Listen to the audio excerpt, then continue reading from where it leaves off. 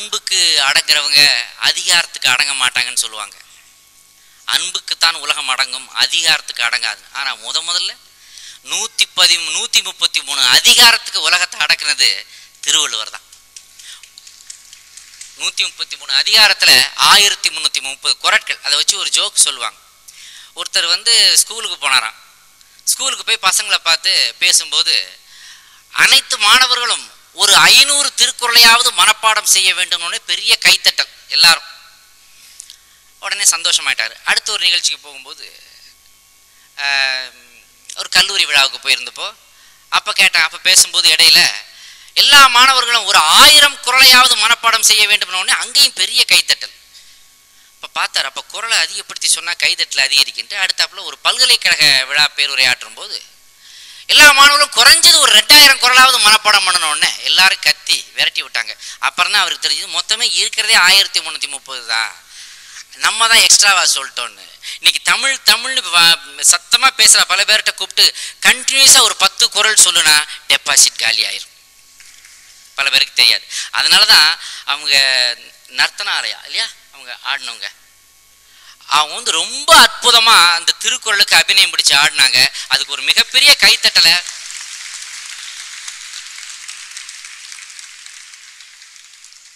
நாம கொடுத்தாகணும்.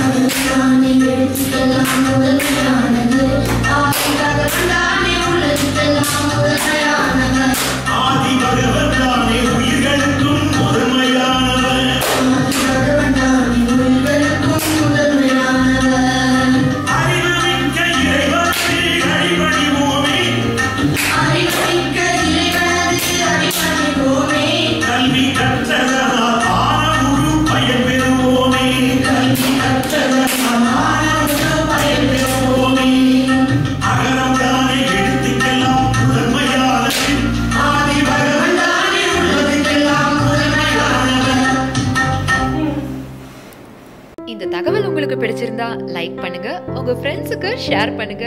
மறக்காம எங்க சேனலுக்கு சப்ஸ்கிரைப் பண்ணுங்க.